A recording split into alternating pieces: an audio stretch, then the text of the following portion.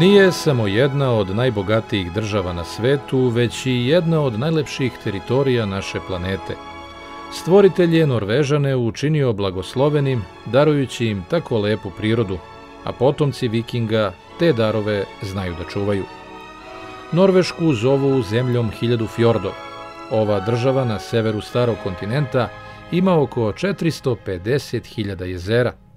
Zovu je i zemljom ponoćnog sunca, zbog pojave koja se dešava tokom dva letnja meseca, kada u Hammerfestu, najsevernijem gradu na svetu, sunce sija i u ponoć.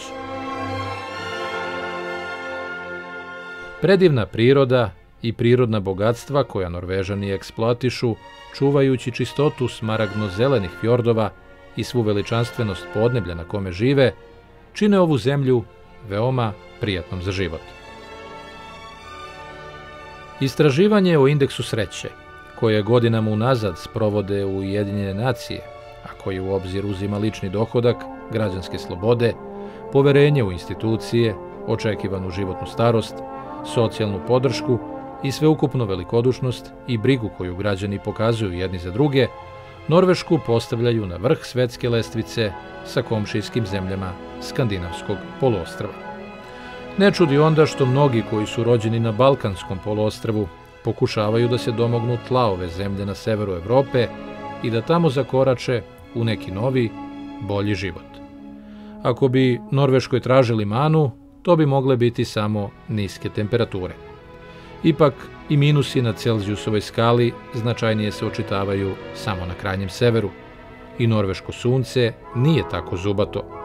Šta više, zbog tople golfske struje koja nosi toplu vodu iz Meksičkog zaliva ka Atlantskom okeanu i klima blizu obala severnoevropske zemlje je prijatnija.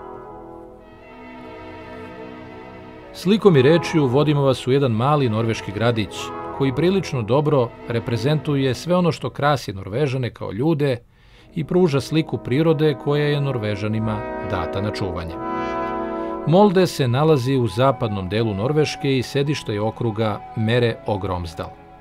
Klima ovog lučkog grada u Molskom fjordu, rukavcu Romsdalskog zaliva, veoma je prijatna zahvaljujući Atlantiku i golfskim strujama. Zime su blage, leta hladnije u odnosu na naše vreline, što nimalo ne smeta onima koji porez plaćaju u Moldeu, a ni onima koji dolaze iz turističkih pobuda. Grad je osnovan 1614. godine. Ime je dobio po izvornom naselju na farmi Molde. U prevodu to bi značilo plodno tle. U 18. i 19. veku Molde se brže razvijao i postao važno trgovačko odredište Norveške. U 20. veku Molde je doživeo velika razaranja. Najpre je 1916. godine trećina grada uništena u požaru. Kada je Nemačka krenula u invaziju na Norvešku u proleće 1940. avioni Luftwaffea zasuli su gradsko jezgro bombama i uništili oko dve trećine grada.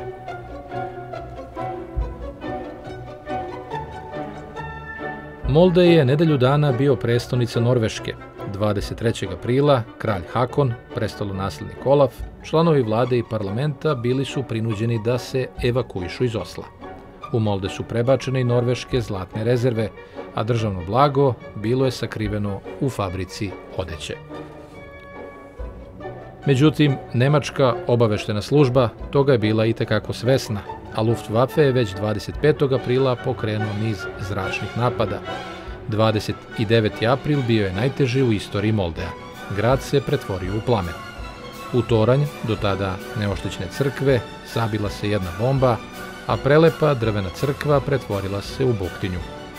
To je mučno istorijsko iskustvo koje je ostalo u sećanju i pisanim tragovima. Crkvu je zamenila ova katedrala, a grad je nakon drugog svetskog rata doživeo ogroman rast. Kako se modernizacija norveškog društva ubrzala u godinama posle obnove, i Molde je postao centar ne samo administrativnih i javnih usluga, već i važan akademski i industrijski centar. Privreda se nekada zasnivala na ribolovu i proizvodnji tkanina, a era modernih tehnologija, bržeg transporta i razvoj turizma uticali su da i Molde, kao i drugi norveški gradovi, postane vrlo zanimljiva destinacija mnogima koji pohode Skandinaviju. Molde zovu i gradom ruža. Vidite i zašto. Ušuškan između plavetnila zaliva i zelenila brdovitog Moldemarka, pleni arhitekturom svojstvenom norveškoj tradiciji, čistotom koje obeležuje vaspitanja Norvežana da priroda mora da se poštuje, a standard je logična posljedica odgovornosti koju Norvežani imaju prema poslu, prirodi i organizaciji društvenog života. Obeležje grada ruža je kip devojke koja u ruci drži posudu sa ružama. Roze Piken ili nevesta ruža više je od statue. Predstavlja nadu stanovnika Moldea. U muzičkoj fontani stoji poput Feniksa kao simbol ponovnog rađanja gradića koji su u vatru pretvorile nemačke bombe. Grad je statu dobio na poklon 1971. godine, a delo je rad poznate norveške vajarke Rankhild Butenschon. Grad u zalivu svakog dana pohode brodovi koji plove diljem norveške obale i dalje ka morima i okeanima. Kurti Gruten je norveški morski ekspresni transport, kompanija čiji brodovi prevoze robu, ali i turiste ka svim obalskim norveškim destinacijama. Znate da je Norveška zemlja zimskih sportova, a u Moldeu su rođeni mnogi asovi snežnih disciplina, poput Johana Remena Evensena, nekadašnjeg svetskog rekordera u ski skokovima, Ingolfa Morka, pobednika turneje četiri skakonice 1972. godine, odnosno Ronhild Movinkel, mlade dame koja se dva puta okitila olimpijskim srebrom. Jon Arne Risse i Kjetil Regdal su boljim poznavocima futbala, dobro poznati i oni su kao još nekolicina asova norveškog loptanja rođeni u Moldeu. Dom istoimenog futbolskog kluba je Aker stadion, moderni, multifunkcionalni stadion, svečano je otvoren 18. aprila 1998. godine i njegova izgradnja je koštala 212 miliona norveških kruna.